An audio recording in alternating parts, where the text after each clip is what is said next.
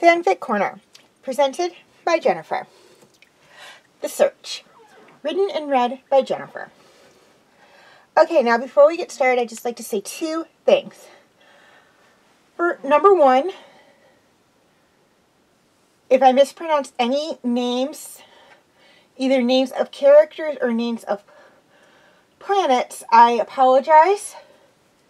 Second, this story takes place between episode 14, The Jedi, and episode 15, The Believer, of The Mandalorian on Disney Plus.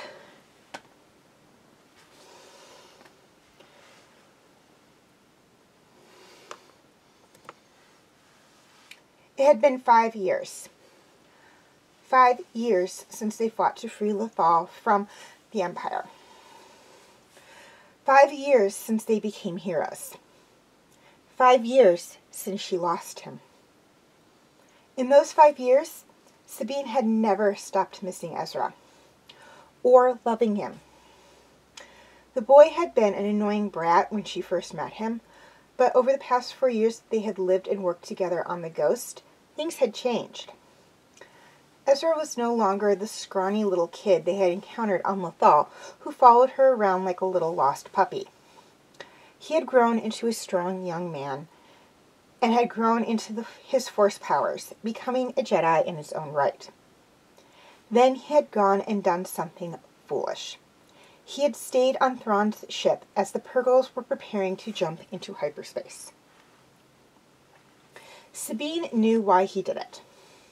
He had seen Kanan sacrifice himself to keep all of them safe just days earlier and believed it was the only way. That didn't mean that she hadn't been mad at him for doing it. But as the years had gone by, that anger had changed to sadness and loneliness. But her broken heart, that was still present. Zeb had his friendship with Kallus, and Hera had the son Kanan had given her. Sabine had no one. So when Ahsoka had reached out to her, asking for help in finding Ezra, so he could help Luke Skywalker rebuild the Jedi Order, Sabine hadn't hesitated. She was going to find Ezra and let him know what a stupid choice he made five years ago and how worried she had been ever since. And then she was going to press her lips to his and vow to never let him go again. Sabine sat in her cabin looking at the picture of Ezra. She didn't have any holo images of him, except the one of him and his parents, so she had done a portrait from memory not long after he had disappeared. She didn't want to forget anything about him. Sometimes she would take out the picture of him with his parents and try to imagine what a child she had with him would look like. Because that's what she wanted to be married to Ezra and have his child growing inside her. A knock sounded at her door. Come in, she said, pushing the holo projector under her pillow. The door opened and Ahsoka came in. We should be landing soon, the Togruta said. Though Sabine tried to hide it, Ahsoka could tell what her young friend was thinking through the Force. Hey, she said, putting a hand on Sabine's. We'll find him. I know we will. It's been five years, Ahsoka, Sabine said. He could be anywhere. And why didn't he try to contact me or Hera in all that time? Because Thrawn is with him, and he has no way of knowing we won the war and that the Emperor and Empire are gone. Sabine knew Ahsoka was right, but she still couldn't help but think that she may never see Ezra again. But she would never say anything to Ahsoka. The Togruta had lost so many people in her life. First it was her family, when she was taken from to the temple. Then it was the Jedi and Padawans that she had grown up and trained with. Finally, it was her master. The only connection she had to her life before the Empire was Rex, and he wasn't going to be around much longer. They'd check this planet, and then Sabine would insist they go home so Ahsoka could spend what little time Rex had left with him. Sabine looked around. She had never been to this planet before, but Ahsoka had called it Raada. There was there wasn't much there. There was a small settlement, but most of what uh, Sabine could see was open plains. She highly doubted they would find Ezra here. It's starting to look like it did when I first came here, Ahsoka said. You were here before? Sabine asked. a year after the Clone Wars ended. Before I became Fulcrum, I was hiding from the Empire. This was a farming planet back then. It seemed like a good place to hide. You don't strike me as the kind to do farming. I didn't work in the fields. I fixed the equipment, and when the Empire came, I helped my friends fight back. Sabine looked at her friend. Did you have a lot of friends here? here? A few, but six. Kaeden, her sister Miara, the twins Hoban and Neera, Vartan and Saladin were really good friends.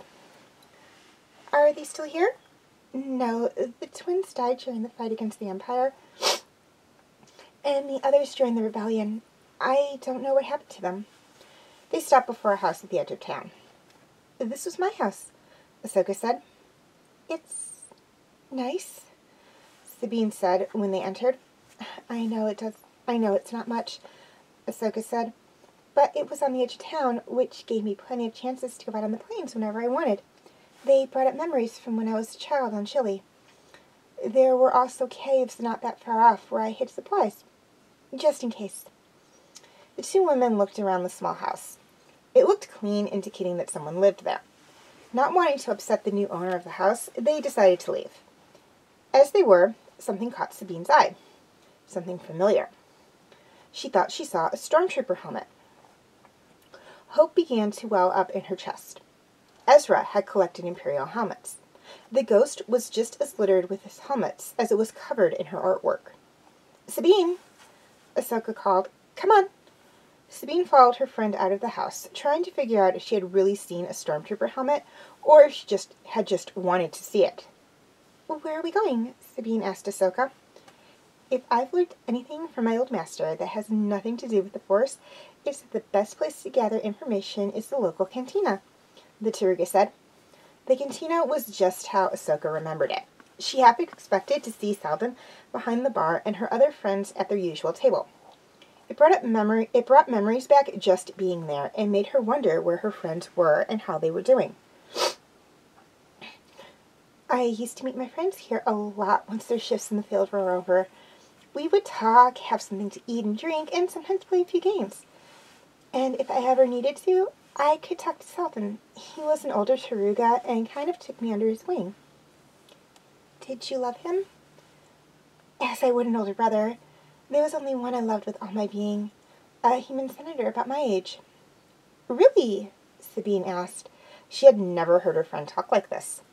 Really? His name was Lux. Lux Bonteri. After we find Ezra, I think I'll try to find him. Sabine looked at the older woman. She knew that look. It was the same one Hera had when she talked about Kanan, and the same one she got when she thought about Ezra. Ahsoka was in love. Once we find Ezra, I'll help you find Lux, Sabine said. He's probably on Coruscant, or his home planet. I'm sure he's forgotten all about me and has married some noble girl from his home planet. Ahsoka said, Not if he loves you as much as you love him. Taking her friend's hand, Sabine looked right at her. You're helping me find the love of my life. It's only fair that I help you find yours. The two women found an empty table, oddly enough, the same one Ahsoka and her friends always used, and took a seat. Despite the planet being small and scarcely populated, the cantina was busy. Never seen a Mandalorian before, someone said, coming up to their table. At least not one that removed their helmet in front of someone. I've heard of those, Sabine said. They follow the way of Mandalore, but they're different from those born on Mandalore. So you've never encountered one, the woman said, taking a seat at their table. Sabine shook her head. Where did you encounter one? Ahsoka asked. The first time was on a planet called Sorgan. We were defending where we defended some fishermen from a band of Klatooinian raiders. Uh, the second time was on the planet Nevarro. Both times it was the same Mandalorian, and he had a small child with him. I've met him, Ahsoka said. It was on the planet Korrivan a few weeks ago. You must be Ahsoka, the woman said. He talked about you when I last spoke to him. The woman looked at Ahsoka as if trying to size her up. You wouldn't happen to know where they are. I've been looking for them for a long time, with no luck. I don't know, Ahsoka said. The child is force sensitive, so I sent them to a Jedi temple so the child could choose its own path. I don't know where they went after that. So what brings you here? The woman asked. We're looking for a friend, Sabine said. She showed her a holo image of a picture she had made of what she thought Ezra would look like now. Have you seen anyone like him? The woman looked at it. He looks familiar, but I can't place him. Sabine looked a little disappointed. She had really hoped that they would find Ezra. Now it looked like they would be returning to Coruscant without him, and would have to put their search on hold. Excusing herself, Sabine made her way to the bar to get their drinks. Your artwork has improved, but it's not exactly right, someone said. Sabine stilled. She knew that voice. Smiling, she turned around. He looked older than she remembered and was taller than her. She would guess as tall as Kanan had been. His hair had grown out, and he had it pulled back exactly the way Kanan used to, and he had a small beard just like Kanan's. But his eyes were the same blue she remembered. Ezra, she said. Then, not caring that he was in the middle of a cantina, she threw her arms around him. Pulling back, she looked at him, a smile on her lips. I've been looking all over the galaxy for you.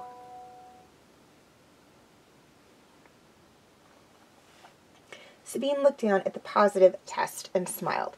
It had been a little over a year since she and Ahsoka had found Ezra and brought him home. She and Ezra had married not long after that, and Ezra had stepped into his new role as a husband, a teacher at Luke's new Jedi Academy, oddly enough, in the old Jedi Temple on Coruscant, so he could be close to his sister Leia, a member of the new Jedi Council alongside Luke and Ahsoka, and as a big brother to Jacen. Hera had been happy to have Ezra back, almost as happy as Sabine had been, and Zeb and Kallus had come to Coruscant for the wedding. Sadly, Rex had quietly passed away in his sleep a month after the wedding. Ahsoka had grieved for her friend for a week, but her rekindled romance with Senator Bonteri had eased the pain a little, and the two were in the process of planning their wedding. Here you are, Ezra said, entering the room at the temple. What's going on? Smiling, Sabine handed him the test. Ezra looked at it and then back up at Sabine, a mix of shock, joy, and pure love on his face. We're going to be parents? he asked. Sabine nodded, smiling. Ezra pulled her into a, an embrace and kissed her.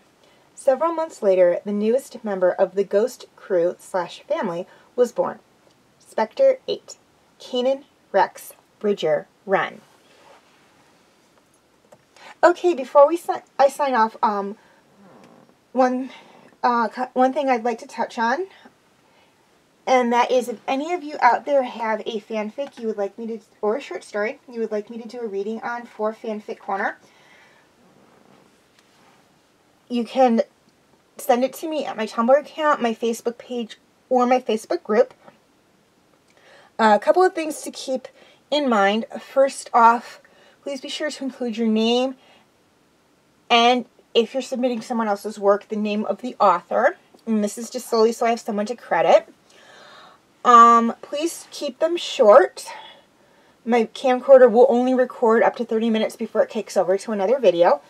Uh, if they are too long, if I can tell they're too long, I will divide them up into parts. Um, please keep them clean and appropriate. Um, any parts or words that I deem inappropriate for children and or sensitive audiences, I will clean up and gloss over. But if there's too much, I just won't do a reading. If it is a holiday fanfic or short story, please be sure to submit it two months before the holiday and to include the name and date of the holiday. This is basically so I can get the fanfic or short story read and posted a month before the holiday. Finally, please be honest. If I learn that someone has submitted a fanfic or a short story without the author's permission, I will not only remove all corresponding videos, but I will no longer accept anything from the sender. Okay, as um, please be sure to like, subscribe, and comment. And as always, thank you for watching, and have a very nice day.